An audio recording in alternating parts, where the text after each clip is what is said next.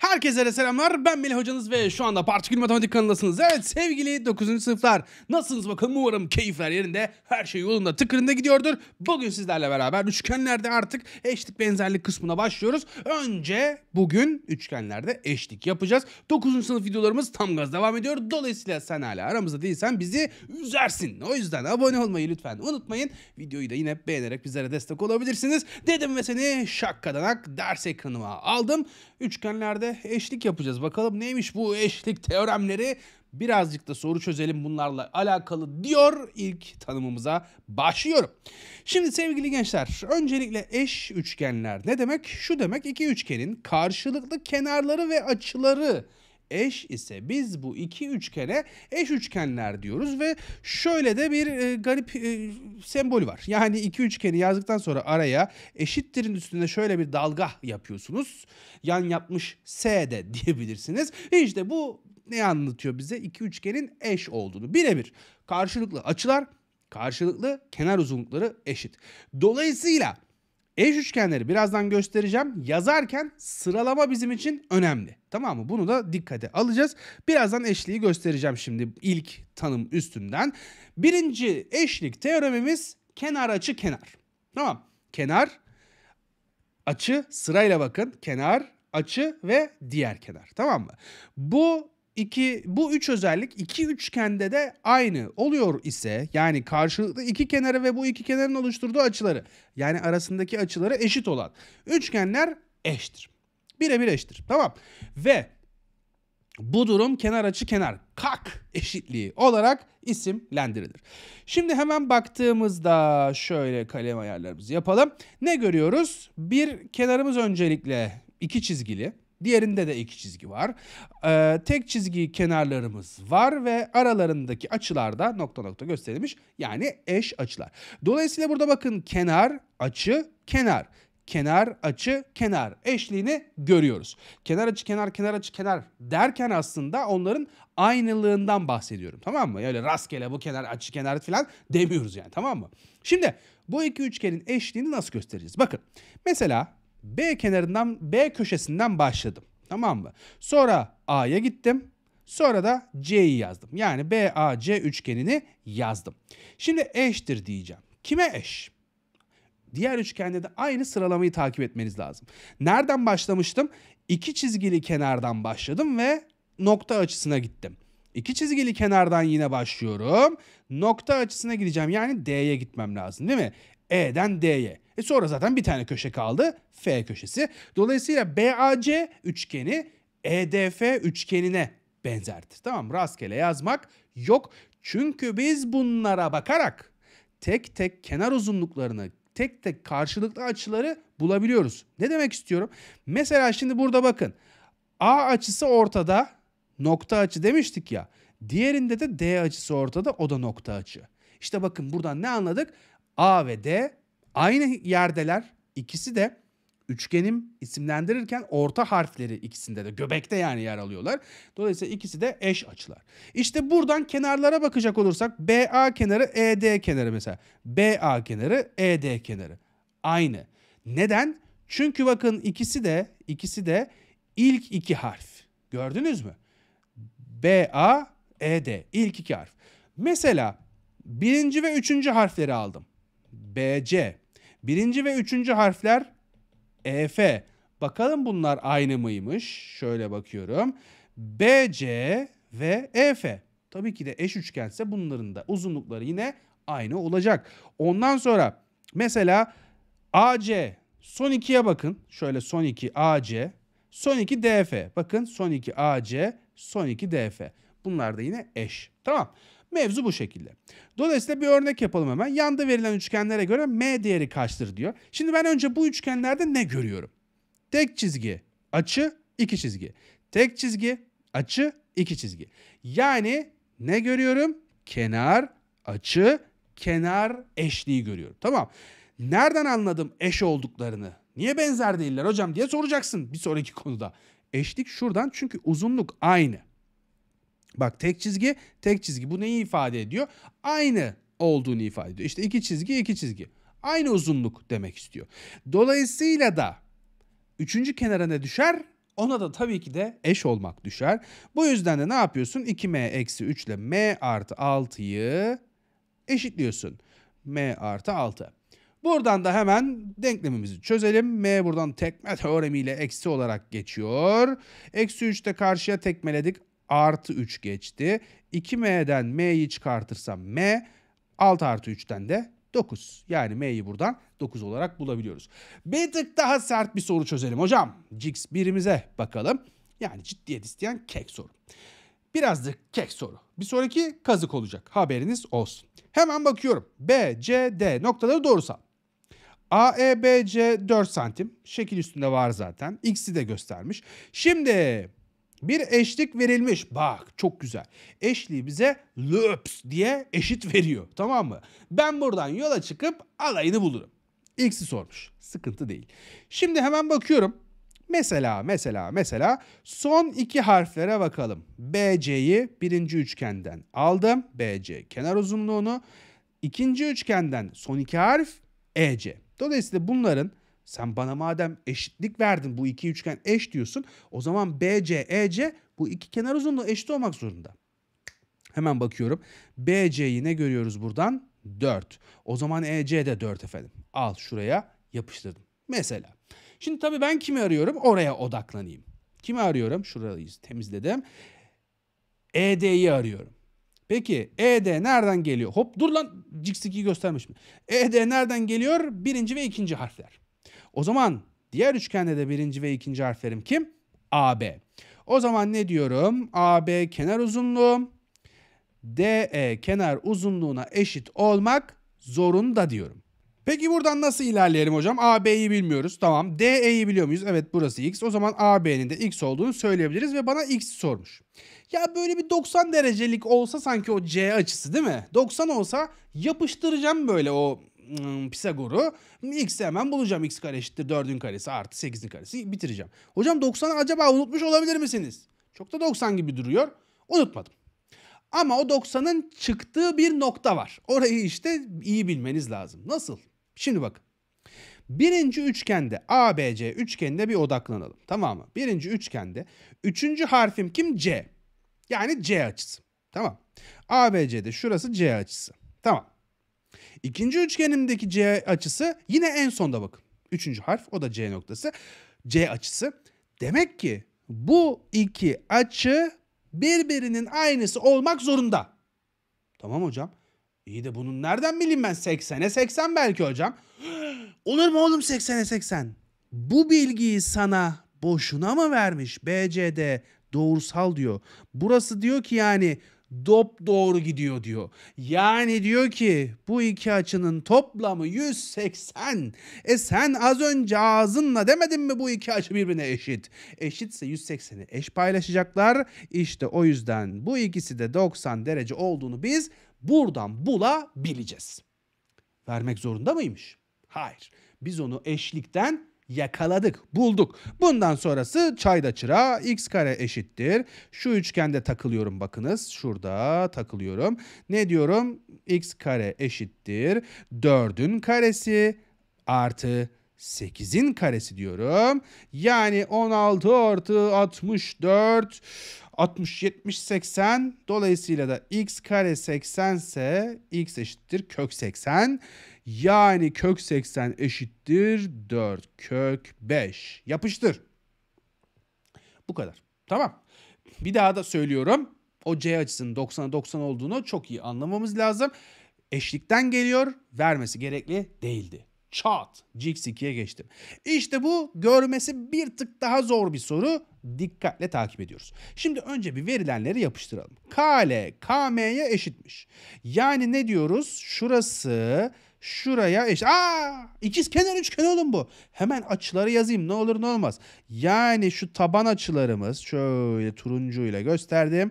Bu L açısı ve M açısı aynı. Nereden geldi bu? Kenar uzunlukları işte ikiz kenar üçgen olduğunu bize deklar etmiş. Çok güzel. Başka bilgileri alayım hocam. LSPM. Şimdi LS neresi? Şurası diyelim. S yaptım orayı. Bir de PM. Partikül matematik. O da şuradaymış. Tamam. Ya da iki çizgi yapalım. Yani niye kafa bunu? İki çizgi şurası, iki çizgi şurası. Niye co- coştuysam? Başka başka başka. başka. LP, MR. LP neresi? Yuvarlak yaptım. MR şurası. Çok güzel. E, bize PR'yi vermiş. 2x eksi 5 demiş. Hemen yapıştıralım. 2x eksi 5. Bir de PS'yi vermiş. 13 eksi 4x olarak. Şimdi sevgili gençler. Burada çok güzel bir açık e, kenar açı kenar var. Kak var kak. Nerede var hocam kak diyenler için gösteriyorum. Bakın iki çizgi turuncu açı ve de yuvarlak kenar. Yani iki çizgi turuncu yuvarlak. İki çizgi turuncu ve de yuvarlak. Gördüğünüz gibi iki üçgende bir eşlik var. Neden? Kenar, açı, kenar. Aynılar. Dolayısıyla da ben o üçgenleri sana yazayım. S, Allah kaleme geçmemişiz. S, L, P üçgeni eşittir diyorum. Kime? Bakın S'den başladım. Yani iki çizginin başından başlayıp turuncu açıya gittim. İki çizginin başından başlayıp turuncu açıya gideceğim. Yani P, M, R şeklinde yazacağım. Buradan öte yol yok. Buradan öte artık dümdüz yardırıp gideceğiz. Çünkü eşliği yakaladım artık soru bitti.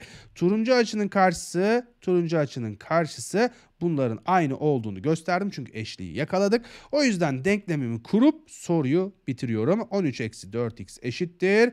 2x eksi 5 hoppadan 4x'i oraya attım. 6x eksi 5'i buraya salladım.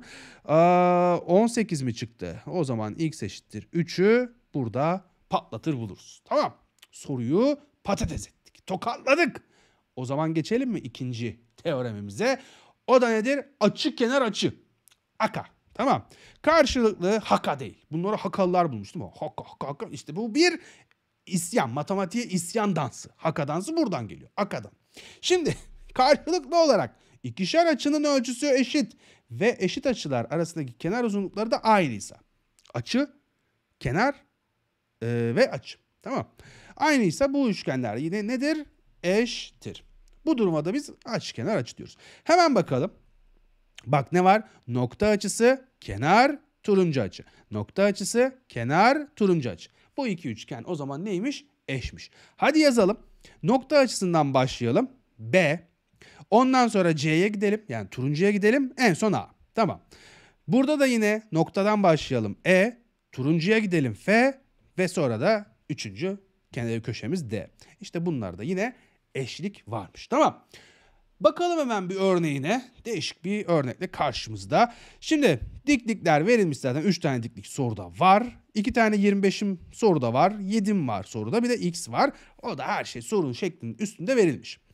Şimdi ben burada ne yaparım? Bir kere 1.90 ya da bir herhangi bir açı böyle ortadan cart diye bölündüyse nereden bahsediyorum? Şuradan bahsediyorum.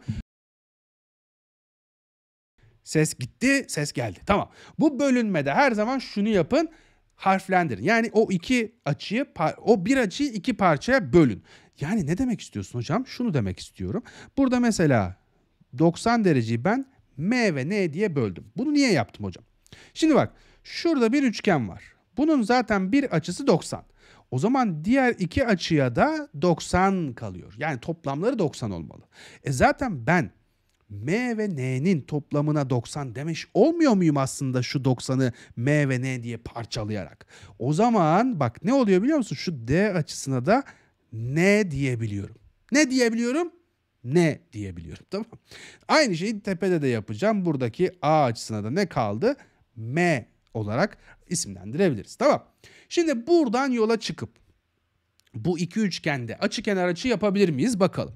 Çok bariz aslında M açısı 25 N açısı. Bakın şu üçgende takıldım. Tamam. ABC üçgeninde takıldım. ABC üçgeni diye yazalım. Bir daha söylüyorum. M 25 N. Şimdi diğerinde bunu yapabilir miyiz? Bakalım. Alttaki şu dik üçgene odaklanmanı istiyorum. Ki orada zaten sen gördün onu. M açısı 25 N. M 25 N. Demek ki yapabiliyormuşuz. O zaman onu da yazalım. B, D, E'dir değil mi? Aynen öyle. İşte bu iki üçgenin eşliğini söyleyebiliriz. E buradan da artık bana x'i soruyor. E, tüm bilgileri yazarım diye düşünüyorum. Bakalım.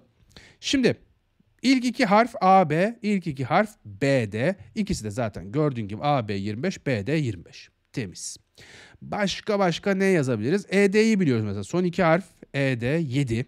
Son iki harf BC oranında 7 olması gerekiyor. Muazzam. Ben burada bir stop duruyorum. Neden? Çünkü sevgili gençler şu üçgende ben bir şey yakaladım. O yakaladığımda nedir? 7, 24, 25 üçgeni. Özel üçgen. Pisagor. O zaman 7 şurasına 24 derim. Burası da 25. Demek ki bakın Şurada n açısının karşısında da 24 düşüyormuş. O zaman burada da n'nin karşısı 24 olacak. 7 artı x'in 24'e eşit olması gerektiğini söyleyebiliyorum. Buradan da x eşittir 17 çıkıyor. Edirne'ye vuruyoruz soruyu tokatlıyoruz. Sıradaki Cix dördümüze geçiyoruz. İşte yine oldukça sert bir soruyla karşı karşıyayız. Şimdi gençler ABC bir eşkenar üçgen. Bir kere normalde bunu görünce seviniriz. Üçgen üçgen oğlum daha ne olsun? Her şeyi eşit. Hemen dolayısıyla ne yapıyorum? Şurası x mi? Burası da x diyorum. Burası da x diyorum. Kenar uzunlukları eşit çünkü. Açılar da 60 60 60 direkt biliyorum. Ee, şuraya yazayım şimdilik. Diğerlerini birazdan parçalayacağım. Çünkü az önce ben sana ne dedim? Bir açı böyle ortadan ikiye ya da ortadan olmasına gerek yok. İkiye ayrılıyorsa orada bir siz de ayırma yapın. Parçalayın açıları. Ben de şimdi onu yapacağım. Bak.